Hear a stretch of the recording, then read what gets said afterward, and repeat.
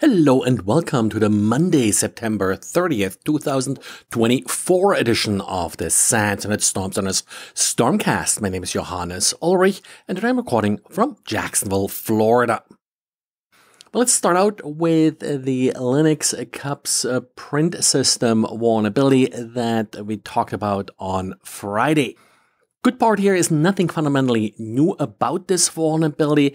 Uh, there is some talk that this may be exploitable even without user interaction. The user interaction here is that a user has to actually print a document on one of those fake drivers, but there is a possibility, and EvilSocket also kind of confirmed this in uh, tweet earlier uh, today that uh, an attacker could trigger the print and with that then trigger the code execution.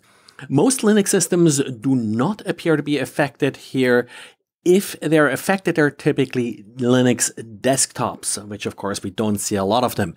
A lot of people suggested that printers that are running Linux may be affected. Haven't really seen any evidence that any Linux printers that of course are running cups are running the browse D part that actually is used to trigger this vulnerability. There are, of course, always possibilities of exceptions. Uh, patching is still what you should do, and definitely make sure that your printers are not exposed to the world. Same for any Linux uh, systems. You definitely do want to have a firewall that blocks ports like 631 and not just 631, but any port that you don't need open on the particular system. Many of the exploit attempts we have seen now are essentially just scanning if the vulnerability is present on a particular system. Various results of these scans are being posted uh, by you know, Shodan and others. Uh, they're all kind of uh, the same numbers where we have tens of thousands of systems that appear to have browsed running and that are requesting URLs being posted to browsed, which uh, should at least indicate a potential vulnerability to this particular issue.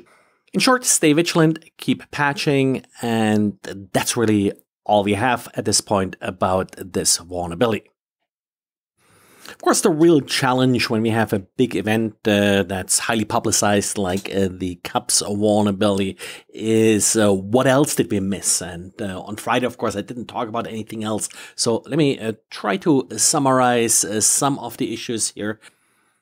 For example, PHP released a new version, and one bug that sort of stuck out here a little bit is CVE 2024 8926. It's a bypass of an earlier vulnerability. So the patch of the earlier vulnerability is being bypassed here. That's CVE 2024-4577.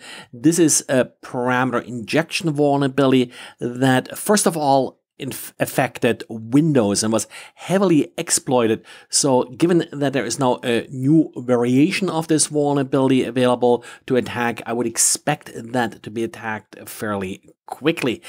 Other versions of PHP got updated as well, uh, so within uh, the supported range of versions. This one here is in particular uh, for version 8.1, and now the latest one is 8.1.30. An Assetnote did publish an interesting blog post about some behavior of the uh, big Chinese uh, firewall. Now, this is not fundamentally new behavior, but something that sort of uh, keeps changing.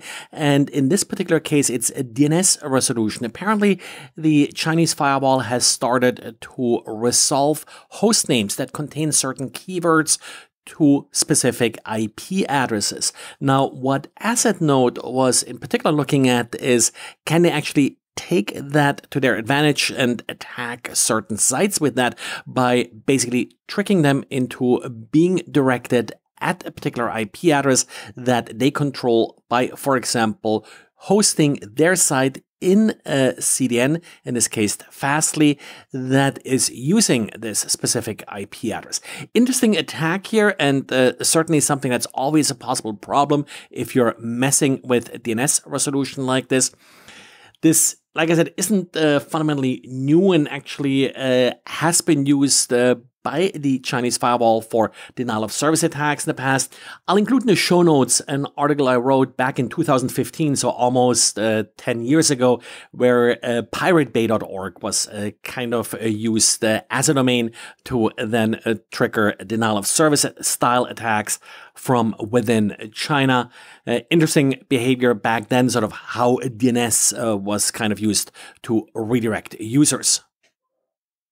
And then we have more critical vulnerabilities in HP Enterprise's Aruba access points. Uh, yet again, uh, the uh, protocol, that's Aruba's access point management protocol, is affected here, leading to unauthenticated remote code execution by sending a message to UDP port 8211 block that port. We had a number of critical vulnerabilities like this in this particular protocol. And uh, for some reason, I doubt these are the last ones that HP will be patching. Then also just a quick note about Hurricane Helene, uh, which luckily is now winding down, uh, but left some devastating uh, destruction in areas that are not usually used to being affected by hurricanes. Uh, for example, BSides Augusta has been cancelled. I think it was supposed to be happening in about a week.